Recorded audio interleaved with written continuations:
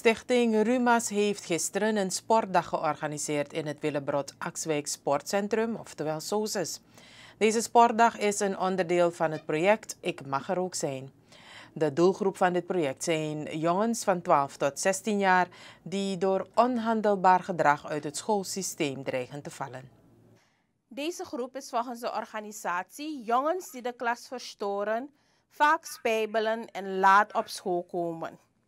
Emmy Hart, voorzitter en directeur van Stichting Rumas, is ervan overtuigd dat als Rumas de jongens heeft getraind, dat ze beter hun best zullen doen op school. Want aan hun gedrag kan gewerkt worden zolang hun wil aanwezig is. Want de ervaring heeft geleerd dat wanneer jongens lastig doen, jongens zijn niet lastig hè, ze doen lastig. Wanneer jongens lastig doen, dan moeten we die ouders ook een beetje aanspreken. Want we gaan kijken hoe het komt. Hoe komt het dat jongens een beetje lastig thuis doen? Toch jongens?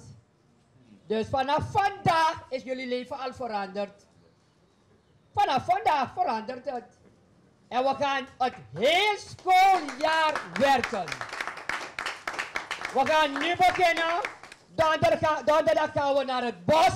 Geen enkele moeder komt mee. Geen enkele vrouw gaat mee. Alleen de jongens met de broeders, alleen mannen. Want soms kunnen vrouwen een beetje lastig doen. Vinden jullie niet? Via dit project wil Stichting Rumas het ongewenst gedrag dat vaak bij jongens voorkomt aanpakken. De jongens zijn ook toegesproken door de voorzitter van het Nationaal Jeugdparlement, Kelvin Koniki. Hij gaf de groep mee dat zolang zij geloof hebben in zichzelf, dat alles wat zij willen goed zal komen en dat ze het ook zullen bereiken. Blijf je best doen op school, zet je in. Je kan het en omdat je het kan, doe het. Focus niet op wat gebeurd is toen, want nu moet je stap verder gaan. Attenja no man om la Ik heb dit niet graag van je dat je gaat bedelen. Omdat je niet geboren en geschapen bent om niet flink te zijn. Je bent een flinke en dappere jongeman. Maar als je succes wil bereiken, dan moet je discipline hebben en je moet consistent blijven.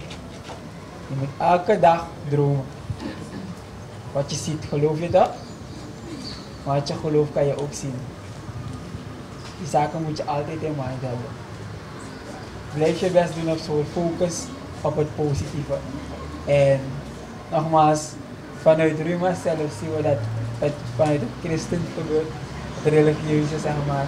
En bidden verandert niet de wereld, Bidden verandert de mens en de mens verandert de wereld. Calvin Koniki, hij is voorzitter van het Nationaal Jeugdparlement.